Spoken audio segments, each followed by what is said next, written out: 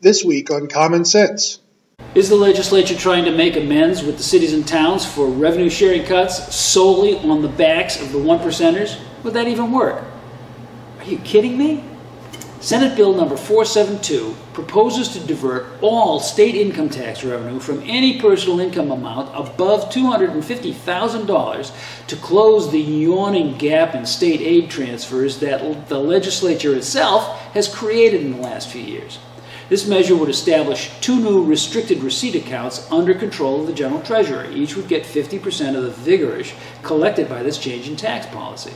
One uh, account would be shared with the cities and towns on the basis of population as regular state revenue sharing for their general funds. The other would be earmarked exclusively for support of the construction of public schools. It should be noted that the bill's new tables for computing state income tax on these higher incomes has also increased dramatically. So what's this all about? Because the legislature has failed to budget anything for its own pension and post-employment benefit obligations for decades, it has had to cut state aid to municipalities. To still the wailing and moaning and gnashing of teeth that now emanates from the 39 jurisdictions who have seen that huge cut in their income, the legislature has had to throw them a fish. Well, it's a pretty big fish, ladies and gentlemen. This plan effectively caps state revenues from the income tax at a hard dollar figure. What's that going to mean in the out years?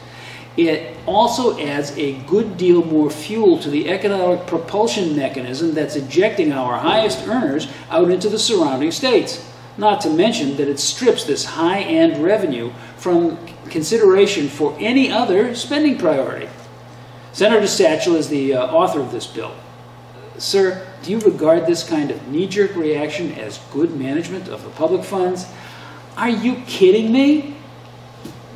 Join us on Verizon Channel 34 or Cox Channel 15. Saturdays at 4 p.m. and Sunday at 10 a.m. Find us on Facebook at Common Sense and on Twitter at, at Common Sense RI.